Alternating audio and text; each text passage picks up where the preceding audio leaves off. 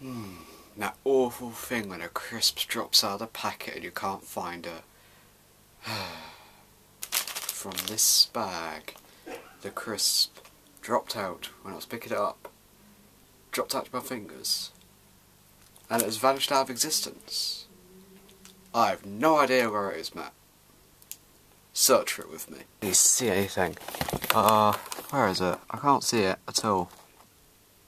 No, I can't find that crisp. It's gone. It's gone. That one crisp, that one quaver has gone out of my life forever. Can't eat it. I'm very upset. You know how much I love quavers, don't you? Quavers! I love quavers! I love quavers! Anyway, hello Matt. It is March the 12th and I've done my drama exam two days ago, which was sick. Everyone seemed to love it except me.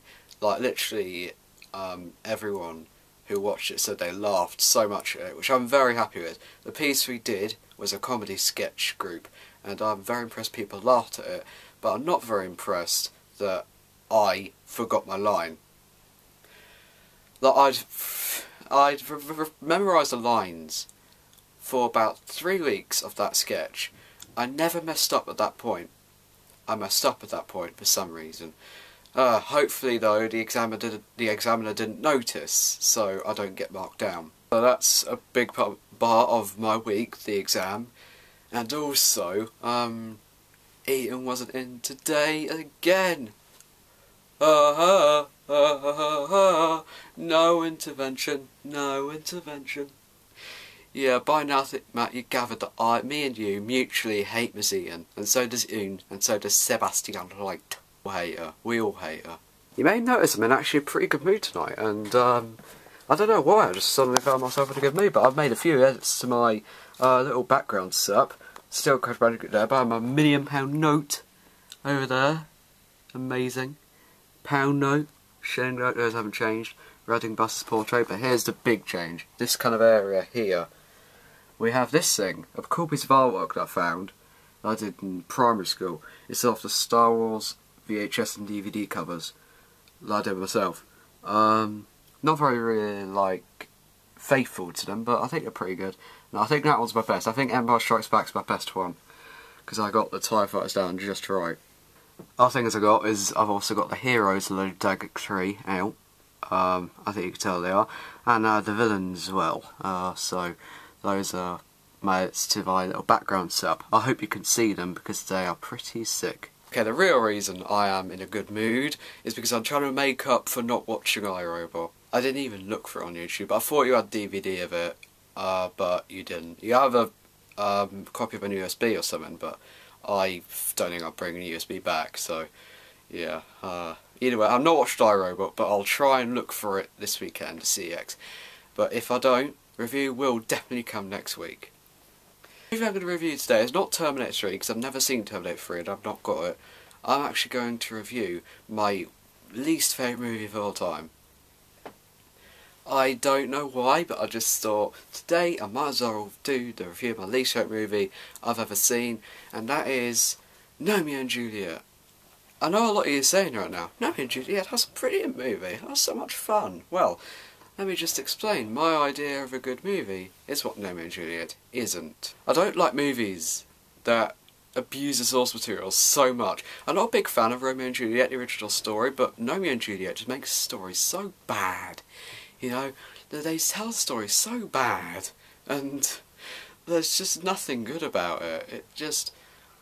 They try and put a modern retelling of the story with gnomes instead of people, and they, um, also put in, uh, removed all historic dialogue from modern dialogue and made it a bit kid friendly. That didn't work. The dialogue in this movie is cringeworthy. I don't. Last time I saw this movie was four years ago, so forgive me for making any mistakes, but I do think it is very bad, very, very, very bad. There's no real amazing story. It's just Romeo and Juliet, but worse. I already said that. Romeo and Juliet story, but worse. Now, I I'm not a big fan of Shakespeare. Um, I think he's overrated. Um, I mean, he's not as overrated as, like, um, Menelaus, but I still think that Shakespeare's overrated. I understand his pieces, but thing is, is I think even he'd be disappointed in Gnomeo and Juliet. So yeah, basically, it's a story of Romeo and Juliet, but with gnomes, and uh, they don't die at the end. So basically, the I don't know any names except Juliet, which is normal, and Gnomeo. What the hell? It's like they thought at the wherever it was made. Hmm, what can we make a movie of? Hmm. Oh, there's Romeo and Juliet. There's Hamlet, but Ham's already been taken by Toy Story, so we can't use a ham. Ham pig. Uh, Romeo and Juliet. That's a better one. Um, ah, oh, gnomes. Gnomeo and Juliet. Whoa. So I didn't like the setup of it completely unneeded battle at the end. That, that was a terrible battle scene at the end. Gotta admit, they had a battle scene at the end of the movie. Like, what the hell? The comedy is so out of place. The shots are kind of nice. The lighting's pretty good, but it's a CGI movie, so what do you expect? The lighting has to be good. If you have bad lighting in a CGI movie, like, what is your life? I mean, yeah, I've got to admit, some people who worked on this movie have a life. I mean, Elton John, I'm not I don't, I've not heard a lot of his songs, but I know he has a life, so he worked on this movie a bit. Chris P. Bacon, who actually did another score for one of my other least favourite movies, I'll get onto that another week. He did a score. I know he has a life because he's been featured on Vlogbrothers. Not his name. His name is featured on Vlogbrothers, but not himself. And uh, then again, they fall out. They get back together again, mysteriously, randomly, not like Romeo and Juliet at all. It's like some scenes they focus on Romeo and Juliet so much, other scenes they don't. They killed off who was supposed to be Tybalt, uh, and that, that was pretty good I think. They killed off a character, you're thinking, they're following the story pretty well. Well, what happens at the end while they live? I know it's a kids movie, but heck, Mustafa, Mustafa was killed. Mustafi? What am I talking about? This isn't Valencia. Mustafa was killed in um, Lion King, uh, Nemo's mum was killed in Finding Nemo.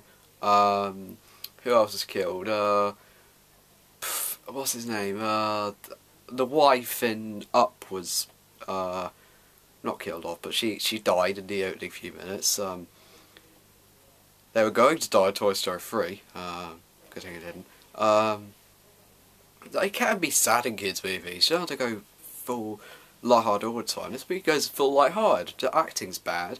And even the CGI isn't that good.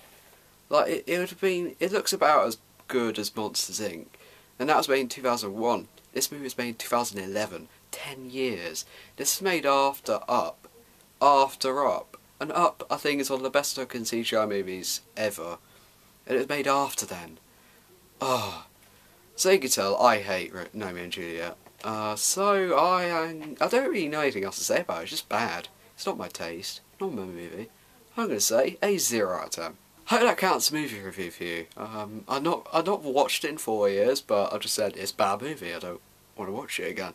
Alright, so I hope my upbeat tone has made up for the bad movie, and also not watching iRobot Matt.